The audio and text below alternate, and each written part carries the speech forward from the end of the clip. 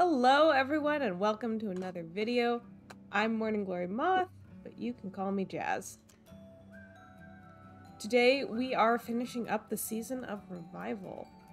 Or if you've been watching my videos, you may have noticed that I've skipped the past couple of quests. We're on to the last quest. We left off with the fourth quest when we went through Eden. And that's because the uh, quests, what they have been, have just been to finish previous uh, season's quests. So we had Enchantment, we had Flight, Dreams, uh, remember one with camera.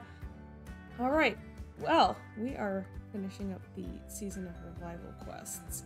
So let's take a look at the last one, see if it's just going to be another season guide or if we will get something a little more interactive.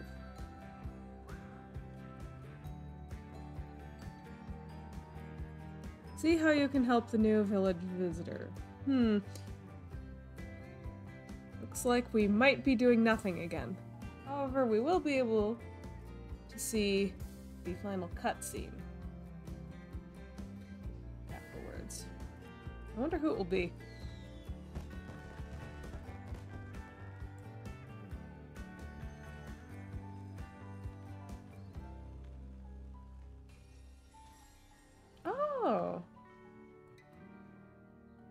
Rebirth? Help with each of the spirit wishes to revive something new in Aviary Village. Yeah. This is it's a good feature for new players, I guess, but it does leave the last quests of revival a bit boring for people who have been here for a while. Let's see.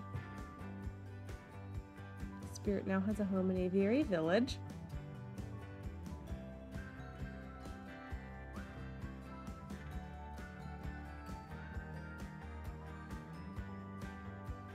That's it. We don't even get a final cutscene. Okay, well.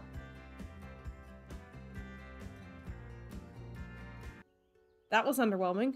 The final cutscene was maybe... The final cutscene was maybe supposed to be this.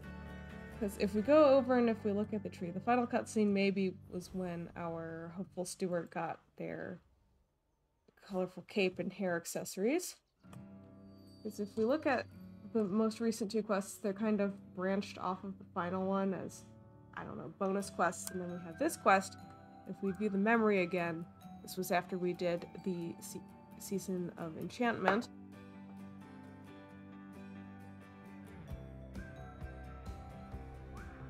Uh, the spirit does some colorful magic. Hopeful steward gets their accessories. So maybe this was supposed to be the final cutscene.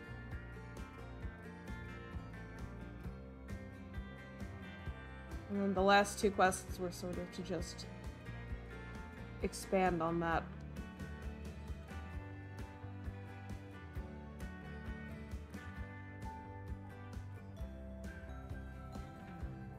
Yep, it's almost the end of the season. And then they add this thing, which uh, I'm pretty sure has something to do with the New Year's fireworks that Sky always does. So I guess that was the final cutscene. Let's see.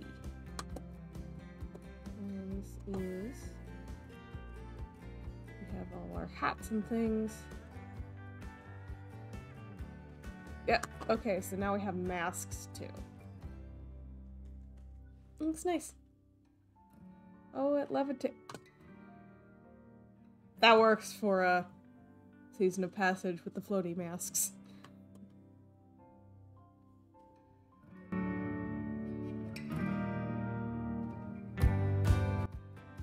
It started off it started off interesting at the beginning. It started off like a normal season, but uh, tickets.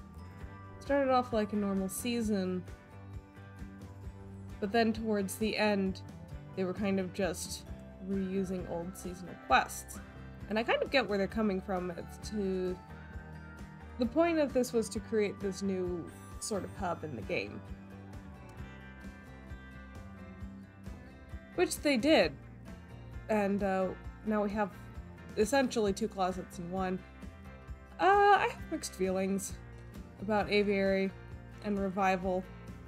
Just because, you know, the past four or so quests have all been, um, to complete previous seasonal quests. And that sort of helps with this sort of hub feeling, reintroducing people to Sky. That's great for new players who haven't fully explored yet. They get to be introduced to all these new seasons, though maybe from a storytelling point that can be a bit erratic to be in the middle of one story and then all of a sudden you're thrust into another.